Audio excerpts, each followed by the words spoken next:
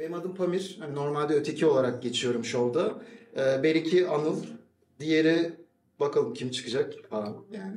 Reji de okey verirse başlayabiliriz. Yoksa kaynatabilirim ben daha istersen. Nasıl? Tamamdır. Bir iki dakikaya başlayalım. Tamam, okey.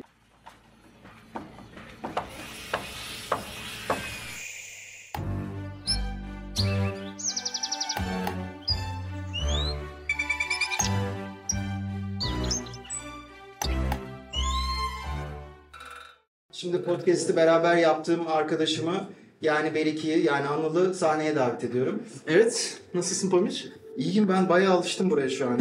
Sen dekor gibi oraya oturdun zaten. evet evet. Ben tabii şimdi bir başlangıç yapacağım ama önce istersen konumuzu davet edelim. Hepimiz de onun için buradayız. Evet, ben şimdi tanıtıyorum konuğumuzu size. Uzman doktor Enes Özel, İstanbul'daki eğitim hayatını tamamladıktan sonra Urfa Akçakale'de medeniyetin kökenleri ve gelişimi konusunda gözlemlerde bulundu. Kendisinin esas çalışma alanları doktorların tolerans mekanizmaları alanında yoğunlaşmaktadır. Çok sayıda kitap ve bölüm incelemeleri bulunan ve birçok yorum ve beğeni alan Bay Özel'in ulusal ve uluslararası hakemli sosyal medya sitelerinde yayınlanan 32 kısa videosu ve irili ufaklı çok sayıda binlerce atıf almış hikayesi ortamlarda paylaşılmıştır. Bay Özel halen Tozlu Raf e, YouTube kanalında baş editör görevini icra etmektedir. Kendisini sahneye davet ediyorum. Doktor Enes Özel. Merhabalar. Ben böyle bir giriş istemiyordum aslında. Hani dedim girenleri karşılayalım, sohbet edelim falan diye bir şeyim vardı ama bu işin bir raconu varmış böyle falan. Sözleşmesini öyle yazdım. Öyle karşılayacaklarım masraflarım. Hoş geldiniz öncelikle. Ee, ben de hoş geldim eski şehrinize. Bilmiyorum e, seviyor musunuz şehrinizi ama ben çok sevdim. Bir iki gündür buradayım. O Porsuk çayının kenarında gezmek vesaire e, çok hoşuma gitti. Bir de aşırı sakin bir şehir. Hani ben ondan çok rahatsız oldum. İstanbul'da ben şey çok alışkınım. Telaş bir yere yetişelim falan. Işıklarda kimse korna çalmıyor. Hani bu sakinlik beni rahatsız etti. Ee, bilmiyorum siz de böyle sakin oluyorsunuzdur inşallah kendi hayatlarınızda. Ee, hoş geldin öncelikle. Hoş geldin. Hoş geldiniz. Teşekkür ederiz. Şimdi ben e, öncelikle bu kadar doktor bir aradayız ve neden sıkıcı bir PowerPoint slide yok diye soracaksınız. Çünkü yok yani. Bugün farklı bir şey yapıyoruz. Biz Ben Öyle Düşünmüyorum Podcast adına bir podcast atölyesi yapıyoruz. Aslında bizim yapmak istediğimiz şey buydu. Yani yaptığımız, kendi aramızda konuştuğumuz konuları hep beraber konuşabilir miyiz veya size ne size nasıl aktarabiliriz, canlı canlı aktarabilir miyiz? Onun derdindeydik, tasasındaydık ve teşekkür ederiz katılımınız için. Bizim için çok değerli. Ee, evet aslında e, daveti yaptık. Enes geldi. Sen de istersen bir giriş yap. Sonra da devam edelim. Az önce hani podcast'ten bahsetmiştim. Biz konular hakkında konuşurken bazı işte tespitlerde de bulunduk. Ee, or- şey yaptık yani psikolojik olarak bazı yorumlarda bulunduk haddimizi aşarak. Sonradan eski bölümlerimizi dinlediğimizde şeyi fark ettik. Yani gerçekten çok uçmuşuz. Bazı yerlerde saçmalamışız. Keşke bölümleri bir psikiyatrist eşliğinde çekseymişiz de bizi konunun uzmanı uyarsaymış. Aslında uzman görüşü için buradayız. Yani Evet. yaptığımız şeyin fikrini, neden yaptığımızı, altyapısını ona sormak için buradayız. E, Ben müsaadenle Enes bir ilk soruyla başlamak istiyorum ama Lütfen. soruyu sana sormayacağım. Mustafa burada mı? Mustafa kendini bir tanıtır mısın? Ayağa kalkar mısın lütfen? Organizasyonu yaptığı için kendisini bir alkışlamak istiyorum. Mustafa ben sana bir soru sorabilir miyim? Yani, yani herkese soracağım. E, bu arkadaş sizden para aldı mı? Onu sormak istiyorum. Çünkü biz bilet kesmedik. Yani eğer aldıysa biz oradan tahsil etmeyi düşünüyoruz. Doktorun hali işte. Evet, teşekkür ederiz. Kimseden almadım. Peki, e, ya şimdi ben Enes sana soruyu soracağım. Tamam. E, fikrini de merak ediyorum. Şimdi hepimiz hekim olarak nöbet tutuyoruz. Yoğun koşullarda çalışıyoruz. Fiziksel olarak kendimizi zorluyoruz ama kendimizi bu fiziksel zorluğa alıştırıyoruz. Acaba zihinsel yorgunluğa da belli bir süre sonra alışıyor muyuz? Yani beyinlerimizi buna eğitebiliyor muyuz? Onu merak ediyorum. Şöyle aslında insan zihni çok dayanıklı. Ee, çok ciddi travmalara, çok ciddi hani ölüm kalım durumlarında bile hayatta kalabilen bir zihnimiz var. Şimdi senin burada kastettiğin hani modern hayatın içindeki çalışma tempomuz mu? Evet. Yani bunu kastediyorsun Evet, hani bunu bu döngü içinde. Ya biz zaten e, şöyle bir şey bir adaptasyon oluyor ama adaptasyonun karşılığında da bir bedel ödüyoruz aslında. Bu bazen ruhsal, bazen bedensel olabiliyor. Şimdi buradaki herhalde herkes ya da çoğu kişi doktor olduğu için onun bedelini şey olarak biliyoruz. Eve gidince işte işimize yabancılaşmış olmak, işte e, mutsuz olmak, yaptığımız işin bize bir noktaya kadar keyif vermemesi. Ya dolayısıyla bir bedel ödüyoruz aslında ama bu bedel bir ruhsal bedel oluyor. Bedensel kısmı da var. Yoruluyoruz, ediyoruz ama bu uzun vadede zararlı. Yoksa hepimiz bir şeyler için çalıştığımız, işte aşırı yorulduğumuzda bir işin şeyi oluyor. Alışırız ama bu alışmak hayatımızdan birçok şey götürebiliyor. En temelinde bu şeyi getiriyor. Benim üzerine çok düşündüğüm, çok konuştuğum yabancılaşma diye bir kavram var. Evet. Eğer polikliniğiniz çok e, kalabalıksa ki hepimizin öyle oluyor aslında. Hani e, bazen iş çalışırken şey düşündüğünüz anlar oluyordur. Eğer devlet hastanesinde ya da yoğun bir özel hastanede çalışıyorsanız ben bunu şu anda niye yapıyorum ya? Ben bu işi niye yapıyorum? Para kazanmak için mi yapıyorum? Ve sadece para kazanmak için yapılan bir şeyin bedeli de o e, kendinize yabancılaşma oluyor ve bir süre sonra işten mutsuz olmaya ve hayat ve iş arasındaki bir bölünmeye neden oluyor. Bu da eninde sonunda tabii ki peşinden mutsuzluğu getiriyor. Mutsuzluk da işten çıkıp genel hayata yansıdığı zaman o bölünmüşlükle beraber bir işte huzursuzluk, ne yapsam, ne etsem, Evet. işte başka bir şey yapmaya ruhsal ve bedensel bir motivasyon kalmıyor açıkçası. Dolayısıyla evet adapte oluyoruz ama bir bedel ödeyelim. Spontan olarak çok iyi cevap verdin. Aktı yani değil mi? Çok beğendim. Çok iyiydi. Ben de çok beğendim. Hani çalışmam, çalışamamamıza rağmen iyi to- kotardığını düşünüyorum. Neden çalışamadığımızı anlatalım. Biz Enes'i Eskişehir'de ilk kez geliyor bu arada. Ee, hepinizin de bildiği bir bal mumu kültürü var burada. Hani gelen ünlülerin ya da yarı ünlülerin diyebiliriz. Az ünlü. Az ünlüleri Az ünlü. Büyük Erşan hocamızın olduğu Büyük Balmumu Müzesi'ne götürüyoruz. Bir kalıp çıkartıyoruz. Şimdi Enes kalıplara sığmam, özgürlük gibi düşünceleri olsa da biz onu bir kalıba sığdırdık. Kalıbını aldık. Yani Enes endişelenme gittikten sonra da burada bir... Sıkıntı olmayacak. Ama bununla ilgili bazı problemler oldu herhalde. Kalıba sığmayan bazı proporsiyonlar. oldu. O konuda da yani kusura bakma Enes'ciğim. Tamam, Ee, ben devam ediyorum müsaadenle.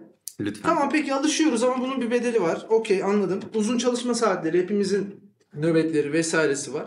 Ve zaman zaman doğamızdan kopuyoruz. Bir koşuşturmaya giriyoruz. Aslında kendimize ayırmamız gereken zaman ya da e, içsel yolculuğumuzu geri planda bırakıyoruz. Ve sonra bir duygusal açlık oluşuyor. Yani duygusal sermayemizi geri planda bırakarak kendimizi artık bundan sonra bazı materyal dürtülerle işte bazen alışveriş yapmak olabilir kontrolsüzce ya da bazen kontrolsüzce duygu e, çağrışımlarını bastırmak için yemek yeme dürtüleri olabilir, yeme bozuklukları olabilir.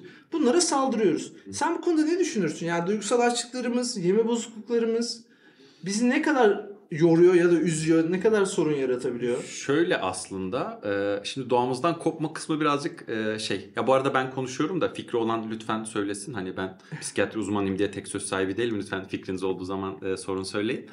Şimdi doğamızdan kopma kısmını ilk başta bir anlamak lazım. Şimdi bugün e, Louis C.K.'de sevdiğim bir komedyen vardı. Hani evden işe giderken bir kaplan tarafından yenilmemekle ilgili bir durumdayız. Yani dışarı çıktığımız zaman beni bir kaplan yemeyecek, beni bir işte leopar avlamayacak gibi korkulardan artık münezzehiz. Öyle bir yanı var doğadan kısmen kopmanın ya da o besin zincirinden çıkmanın. Hani o ayrı bir köşede avantajları da var. Hani gelişim dediğimiz şeyin. Hani anestezisiz diş çekimi yaptırmak isteyen varsa ben doğaya dönmek istiyorum diyen hani hodri meydan. Onu bir kere bir köşede tutmak lazım. Ee, şimdi yeme bozukluğuyla ilgili şeyde şöyle açıklayabiliriz. Biraz parçalara ayırmam gerekecek. Şimdi biraz kaygı bozukluğuyla ilgili yeme bozukluğu dediğimiz şey. Yani e, biraz kaygıyı azaltmak bazı işte zorlantıları, bazı takıntıları doyurmakla ilgili bir yerde kalıyor. Dolayısıyla o yeme bozukluklarını şey olarak alacağım. Hani biraz kaygı bozukluğu olarak entegre edeceğim. Dolayısıyla en nihayetinde şuna varmak e, mantıklı olur bu çözümlemeden sonra. Hani biz evet bazı şeylerin e, kaygısını, hazını hani bazı şeylerin kaygısını çok yaşadıktan sonra bir haz arayışı içerisine girebiliriz. Şimdi yeme bozukluğu kısmına baktığın zaman hani bunu kaygı azaltmak amaçlı e, yapabiliriz. Yani kendi kaygımızı, endişemizi azaltmak için zorlantılı bir şey olarak. Kimisi yemez, atıyorum kimisi tahtaya vurur. Kimisi işte belli rutinleri vardır, onları tamamlar. Kimisi atıyorum işte çok kitap okumayı sever. Hani hepimizin bir savunma mekanizması var aslında. Yeme bozukluğu da bu kaygıya, oluşan kaygıya yönelik modern hayatın e, ya da işte senin o duygusal açlık dediğin şeyin ona yönelik bir başka bir savunma. Şimdi yeme bozukluğu kısmında şöyle diyebiliriz. Şimdi oral haz çok kolay bir haz. Yani e, edinebileceğimiz en kolay hazlardan birisi bir hayatta kalmak. Hani bugün ölmedik, hayattayız. Artık bunun endişesini çok fazla taşımıyoruz.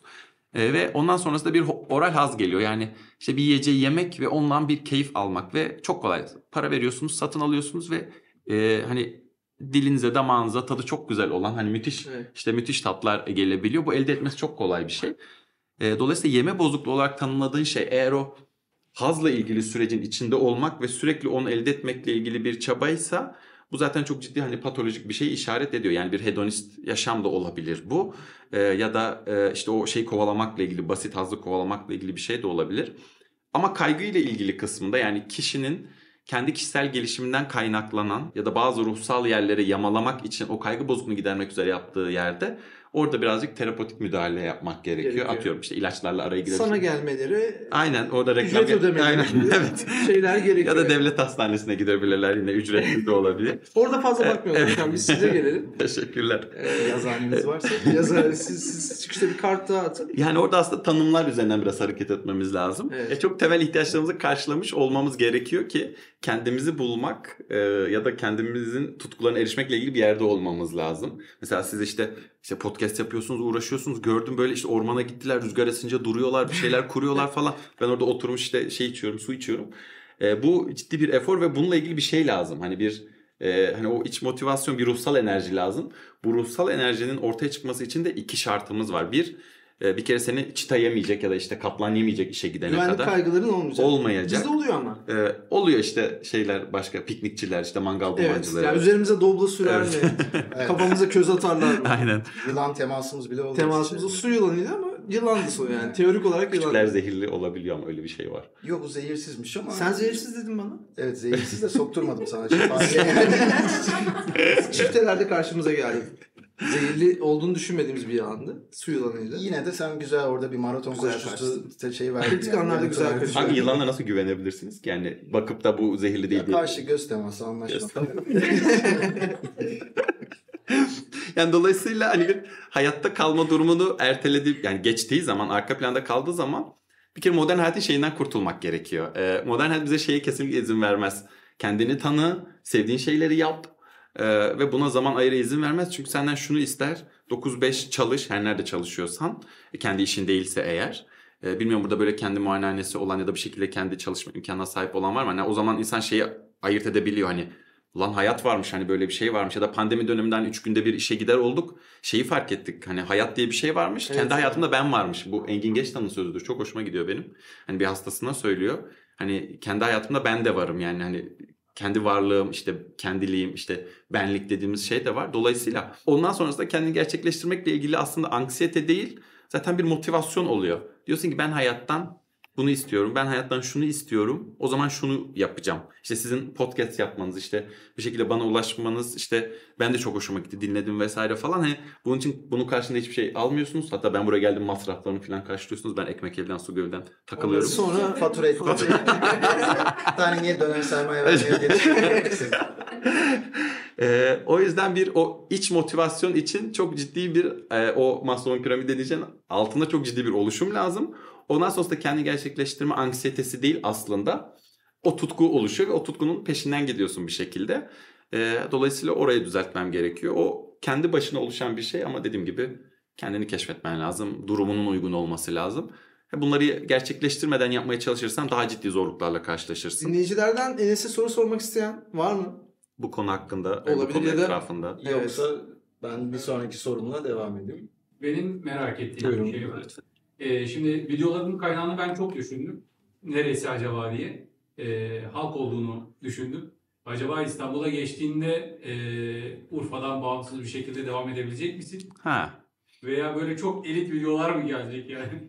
Şöyle aslında şimdi e, video yapma kısmı birazcık psikiyatri açısından sıkıntılı. Çünkü hani hastalarla aramızda çok hani bir terapötik bağ var. Hani hastanın her şikayeti bizim için çok ciddi. Atıyorum hastanın uyuyamıyorum demesi aslında çok ciddi bir şikayet. Arkasında ciddi bir yaşanmışlık e, oluyor.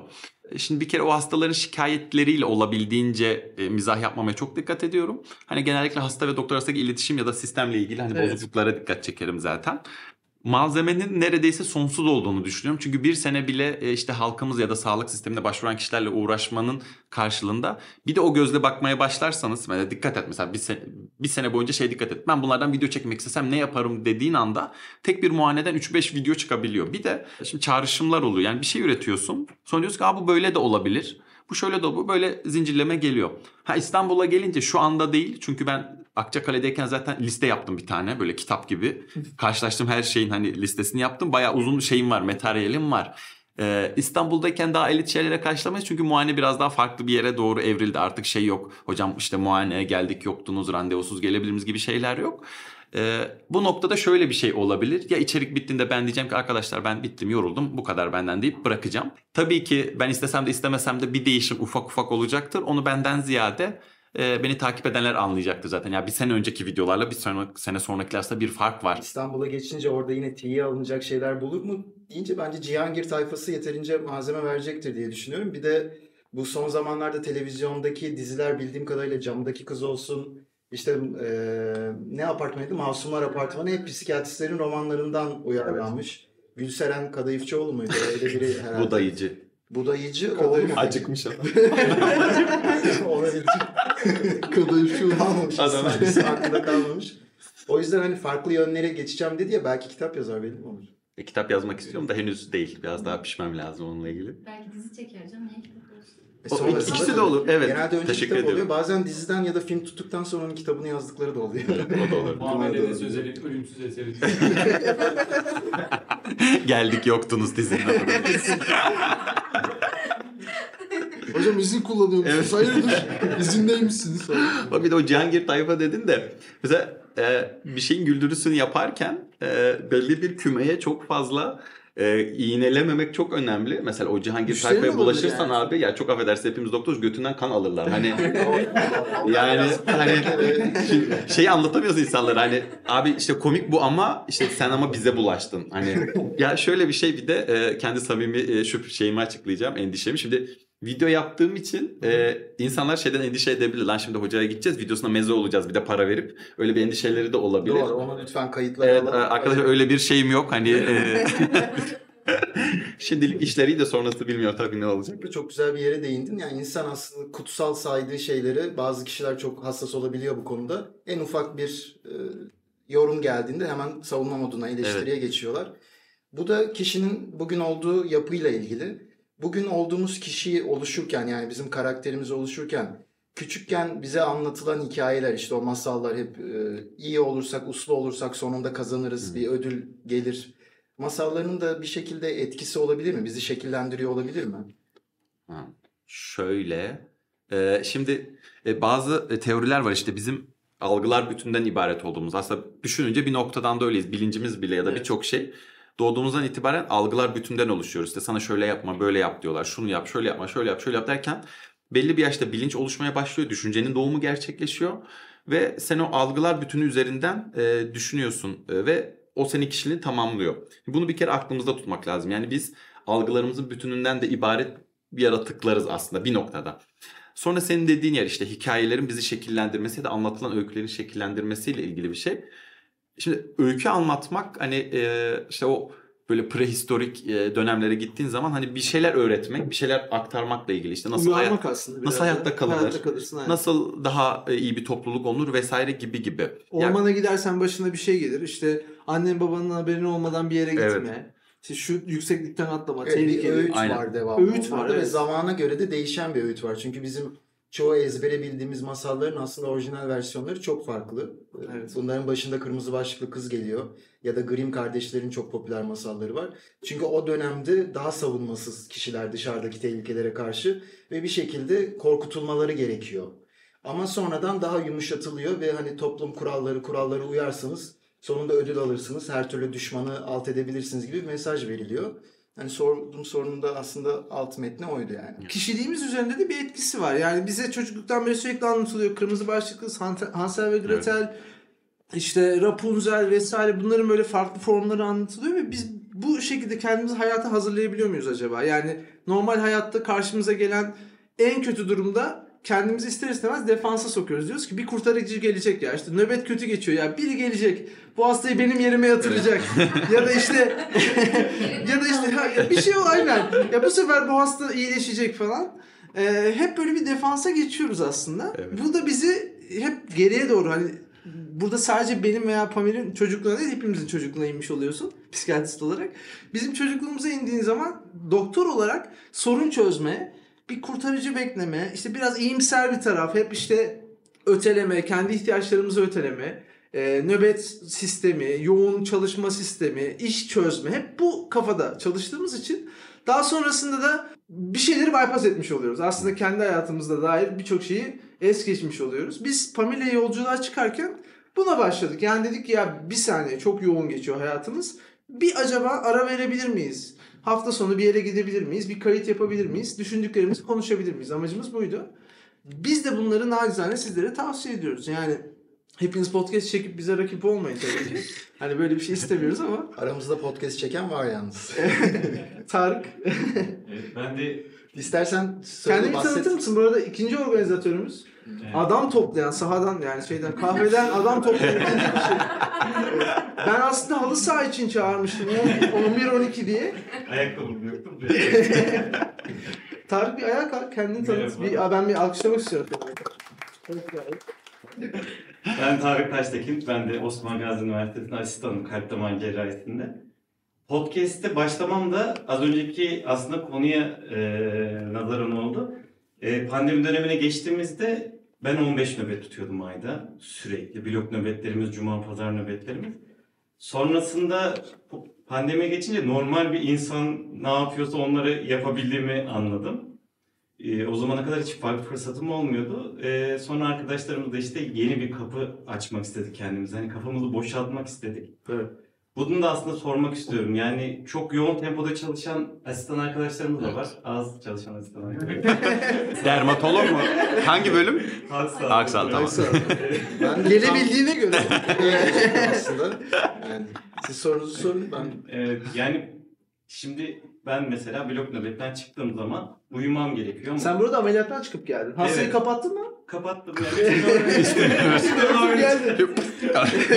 yani uyumakla bir şeyler yapıp o duygusal e, boşluğumu doldurmak arasında çok gelip gidiyorum. Çünkü e, eve geldim uyumam lazım çünkü ertesi gün başka bir ameliyat var ama uyursam bütün hayatım hastane olmuş oluyor. Bunu hangisine dengeyi nasıl oturtacağımı bilmiyorum.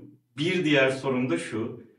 Ben hastanede birçok hani kendi bölümüm itibariyle acil servis böyle yani üzüntü görüyoruz hani orada. Evet. Evet.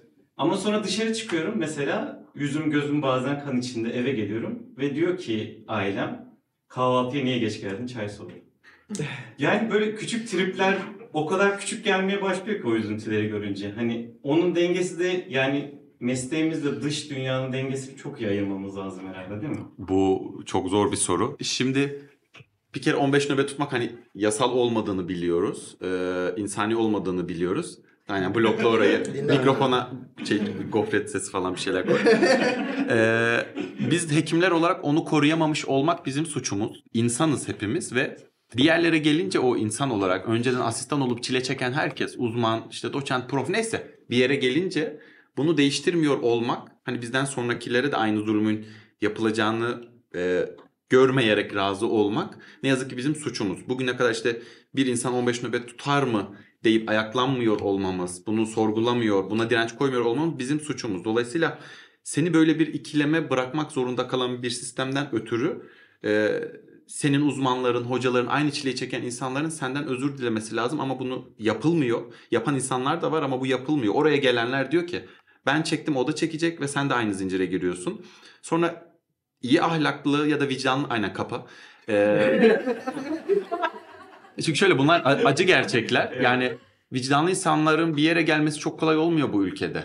Ee, birileri bir yeri kaparak bir yerlere geliyorlar ve öyle olunca da alttakilere acımıyorlar. Seni böyle bir durumda bırakmaması lazım sistemin. Sana bir insan gibi muamele edip e, uykumuyu tercih etmeliyim, hayatımı tercih etmeliyim gibi bir soruda bırakmaması lazım.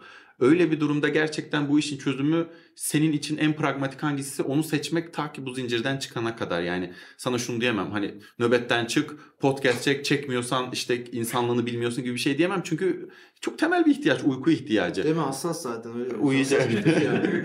Uyuması, uyumamız lazım. Uyumamız yememiz lazım. Bu bir. Dolayısıyla orada çok bir tercih hakkın yokmuş gibi. Ama tercihini kendini gerçekleştirmekten yana kullanıyorsan bu gerçekten çok takdire şayan. En azından o emeğinin bir kısmını. Burada da ne yazık ki elimizde çevremizde bizi anlayan insanları toparlamaktan başka bir şey gelmiyor. Yani bizi anlayan işte abi ben bugün gelemeyeceğim nöbet çıkışım yorgunum. Tamam işte dinlen keyfine bak diyebilecek insanları çevremizde toplamaktan başka bir şey gelmez. İşte o yüzden doktorlar halı sahada hep doktorlarla maç yapıyor. Yani hep böyledir. Etkinliğe doktor. Hep bir şey bak görüyorsun yani. Dolayısıyla bu zor bir şey. Zor çok, bir şey. çok çok zor bir Biz, şey. biz anlıyoruz yani. Çok karamsar cevaplar verdim. Özür dilerim o yüzden ama e, seçenek açısından öyle yani elimizde. Biraz ben varoluşçu birisi olduğum için. Evet, aslında benim anladığım da biraz sempati ve empati farkıyla ilgili. Yani ailen sana sempati duyuyor, seviyor ama tam olarak anlama yani senin Daha farklı bir şey, evet. çözemiyor. Şimdi şöyle ben hani psikiyatrist bulmuşken gerçekten bahsetmek istediğim bir konu var. Bu içinde bulunduğumuz hisle ilgili. Yani hepimiz için belki bunu söyleyemem ama ben anlatayım. Belki bu aynı şekilde hisseden kişiler vardır aramızda. Buna ben yanan bina metaforu diyeceğim. İçinde bulunduğum bu hissi tanımlarken. Nasıl bir his? Şöyle anlatayım. Biz hepimiz kendimizi bir bina olarak düşünebiliriz. Yani inşa ettiğimiz bir işte kariyerimiz, hayatımız var, karakterimiz var. Bunun ilk katları tabii ki biz farkında olmadan inşa ediliyor. İşte etraftaki kültürel normlar diyelim ya da büyüklerimiz tarafından, annemizden babamızdan aldığım eğitim, işte hocalardan aldığımız eğitim.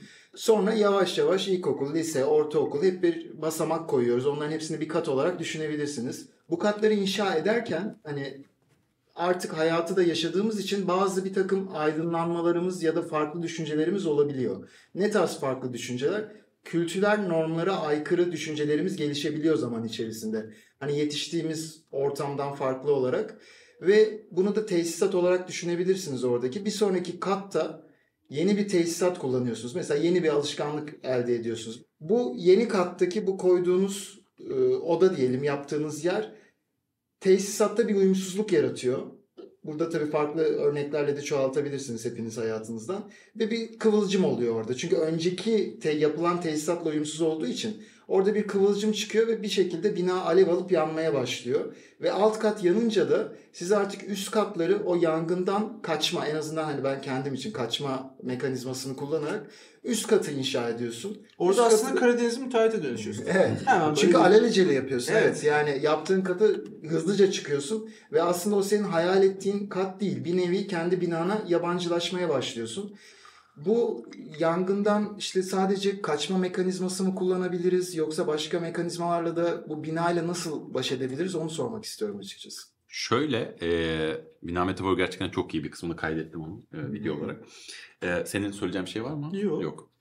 Şöyle, şimdi bizim hayatımız e, doğrusal bir şekilde ilerlemiyor aslında. Yapısal dediğimiz bir örüntümüz var. Yani hayatımızda olduğumuz şey ya da bütün hayat için düşünün şimdi bu şeyden bağımsız. Olan şeyler tek bir şeyin neden sonucu yani bir şeyin nedeni olmuyor. Yani bir müsebbibi tek bir şey olmuyor. Bir sürü şey bir araya geliyor ve bir olayı oluşturuyor. Dolayısıyla yapısal diyoruz. Hani doğrusal değil. Şimdi o yanan bina olarak düşündüğümüzde bizim hayatımızda hani işte birinci katın inşası doğdun e, bir şeyler inşa ediliyor. Sana annem baban işte bir şeyler veriyor. Orada bir kat inşa ediliyor. İşte üzerine çıkıyorsun eğitim üzerine çıkıyorsun işte toplum vesaire vesaire. O yangın çıktıktan sonra üzerine işte Karadenizli müteahhit gibi kat çıkmaya devam edersen bu sonuçta yine aynı döngü içerisinde olmuş oluyor. Yani bir uyumsuzluk var ortada. O uyumsuzluk e, bizi daha fazla kat çıkmaya yamuk yumuk katları çıkmaya sevk ediyorsa biz o uyumsuzlukla yaşıyorsak aslında hayatımızın bir noktasında takılıp kalmışız demek gibi oluyor. Yani o değişim de birazcık yarıda kalmış gibi oluyor. Yani hayatının bir noktasında ilerleyemeyen, bir noktasına takılan insanlar vardır. Hepimizin hayatında takıldığı noktalar oluyor illaki. Öyle bir yerde olmuş oluyorsun. Dolayısıyla bence o yangından kaçarak aynı döngüyü devam ettirmektense şey önemli. Bazı şeylerle çatışmamız gerekiyorsa bir bedel ödeyeceğiz. Sevilmeyen insan olacağız. Yanmayı göze alırsak eğer asıl o zaman değişimi göze almış olacağız. Yani o binanın yanması aslında bir reset gibi oluyor. Onun içinden sonrasında belli bir yapısal bütünlüğe sahip o binayı onarmak gerekiyor aslında. Yangından kaçarsak aynı şeye tutuluyoruz. Yanmak ve birazcık acı çekip bedel ödedikten sonra kendimizi bulup o binayı onarmaya çalışmak daha e, mantıklı gibi geliyor bana. Bu noktada da hemen terapiye e, şey bağlıyorum Evet. durumu. Çünkü e, yapısal olarak o bina çok fazla oynamaz. İşte doğduk, büyüdük, geçmişimiz var. Şimdi biz e, işte psikoterapi sürecinde, herhangi bir psikoterapi sürecinde biz o binayı aslında birazcık onarmış oluyoruz. İşte birinci kat evet biraz hasarlı, e, birazcık duvarları kötü yapılmış. Ama daha güzel bir boya çekilebilir, daha güzel döşenebilir, girişi daha güzel ayarlanabilir.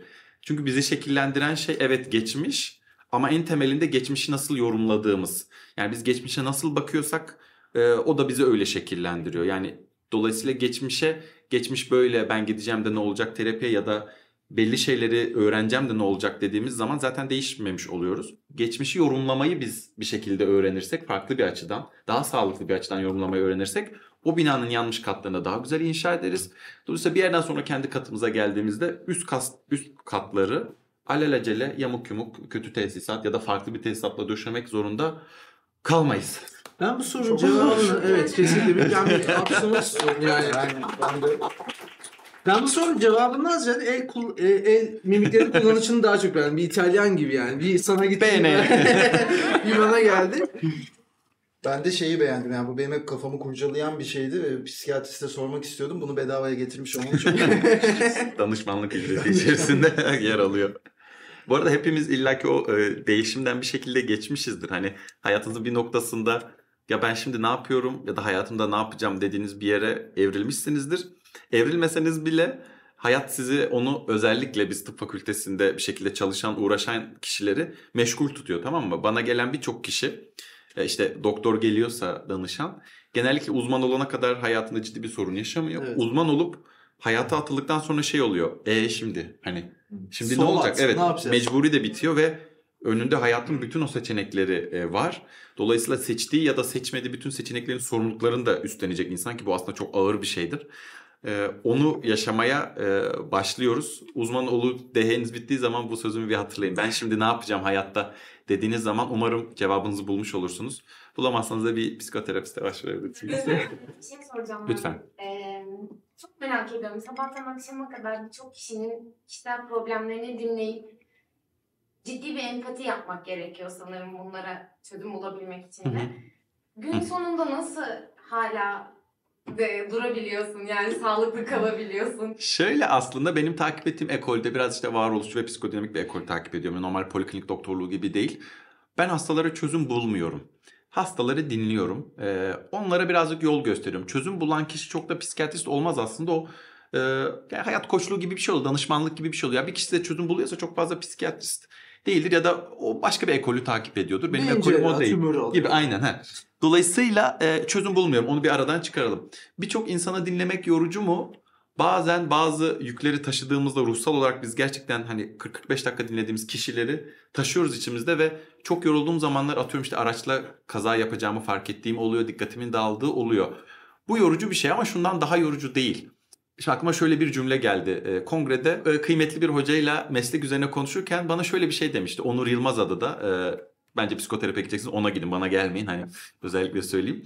E, bana şey demişti. Yorgunluğunuzdan keyif, alın, keyif aldığınız mesleği seçmek çok önemli demişti. Ve çok doğru. Ben bu işin yorgunluğundan çok ciddi bir keyif alıyorum, haz alıyorum. Yani yoruluyorum evet. Ama eve gidince bu yorgunluk bana yabancı gelmiyor. Ben birilerine yardım ettim ya da birilerinin hayatında bir iz bırakmanın o e, şeyini yaşıyorum, keyfini yaşıyorum. Aslında hepimiz belki bunu yaşamak için doktor oluyoruz ama sistem buna çok izin veremiyor.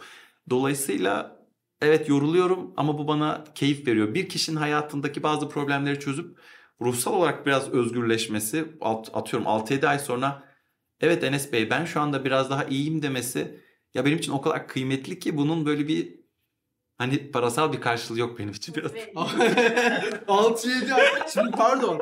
Hani zaten hani psikiyatristin sorunu çözmesi demek aç kalması demek. Yani benim aklımda hep filmlerde şöyle bir sahne var. Ee, hasta ya da danış siz ona Evet. danışan diyorsunuz? Danışan diyoruz evet. Danışan uzanır. E, psikiyatrist fırın saatini çalıştırır. Aynen. 45 dakika sonra bu seansımız bitti işte bıdı bıdı lütfen bir sonraki hafta buluşalım der. Sizi işte ücret ödemeye aktarıyorum gibi. Hani 6-7 ay benim için zaten o parayı verdiysem ben zaten hani birçok şeyden yükten hafiflemiş oluyorum yani öyle düşünüyorum. Doğru öyle bir yanı oluyor ama bunun zaten işte bedel ödemenin bir yanı da maddi oluyor ne yazık ki. O yüzden evet yoruluyorum ama keyifli bir yorgunluk. Hepimize umarım hayat öyle bir yorgunluk hani mesleğinizden mesleğinizin yorgunluğundan keyif aldığınız bir şart teslim eder diye düşünüyorum inşallah. Beraber inşallah. İnşallah.